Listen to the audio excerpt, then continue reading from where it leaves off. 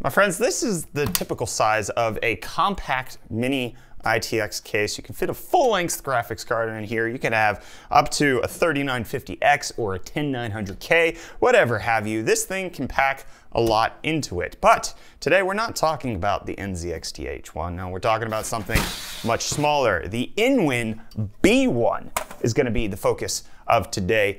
This, my friends, is the ultimate Ryzen APU case. In case that you're just looking to build a mini ITX PC that doesn't need a graphics card, I think you should probably take a look at this. So let's go ahead and talk about this bad boy because as you can see, it is incredibly tiny as things fall off because I didn't properly screw them in before starting this video. Coming in at about three liters of size, this thing is a tiny powerhouse for anything that doesn't need a graphics card. This thing starts at $85 over on Amazon, but it's not just the case that you get included with it. No, you also get a 200 watt 80 plus gold power supply included in this thing. So you can see that it either stands vertically with a stand that's included with the case or it stands horizontally like this with feet that are attached on this. However, as you can see, the vertical stand is removable, but so are the feet in case you wanted to just have the back plate on this guy. You can see the feet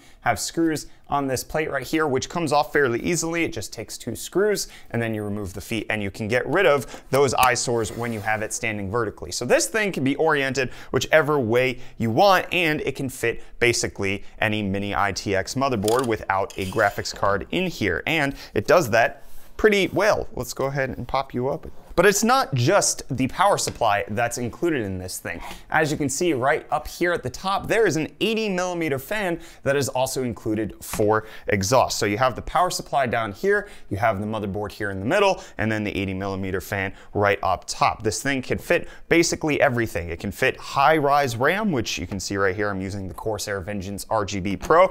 The only caveat that I found out was the fact that it cannot fit normal AMD Wraith coolers. This is because I actually ended up losing my stealth that I had with my APU.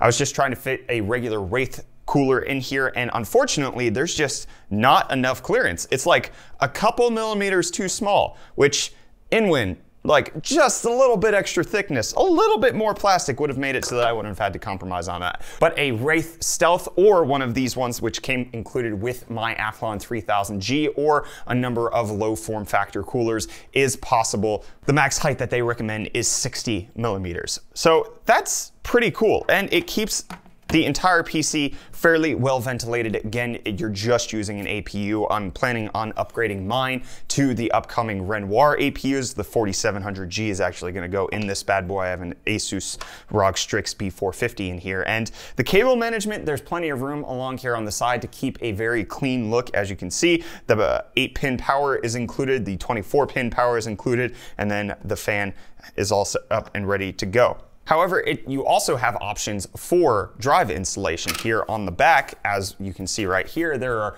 options for two two and a half inch drives right here and here in case that's what you need. But also, Inwin, thankfully, thought out the fact to cut out this back port because it allows you to access the spare M.2 drive that's found on a lot of mini ITX motherboards. So Inwin actually doing pretty good stuff. You could have up to four drives in here with the two two and a half inch drives and then with the two M.2 drives depending on your motherboard again.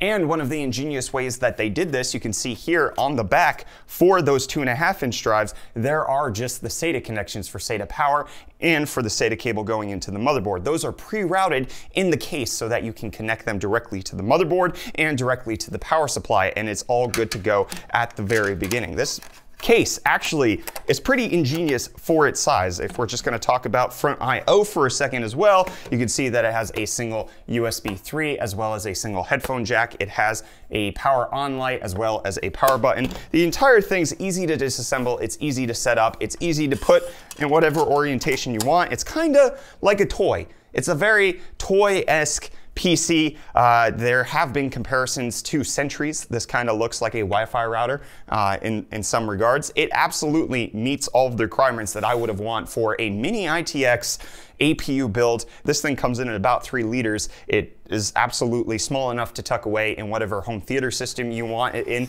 This would not necessarily stand out as a PC. This is really great as a home theater option for APU builds. I can't necessarily say too many wrong things about it. The tempered glass allows you to actually see the inside. Maybe it would have been better with a mesh top, but again, we're talking about up to 65 watt TDP on a Ryzen APU. I'm not even gonna talk about Intel with their 105 watt APUs on like the 10900 that's neither here nor there. Power supply included, really versatile case that can fit in a variety of situations, only $85. You can check it out at the link in the video description. We have an affiliate link to Amazon over there. We get a small kickback if you happen to pick one out, but we bought this ourselves because I was looking to, for a mini ITX APU build, and this seemed to hit all of the marks. It's launched, I think it was back in March or April, and InWin actually has a real winner here as far as I'm concerned. It cools everything I need it to. It can fit most RAM. It fit was just a little taller in order to fit the regular AMD Wraith cooler, that would be phenomenal. But you do get the tempered glass to see whatever RGB RAM you put in there or whatever RGB low profile cooler you can get.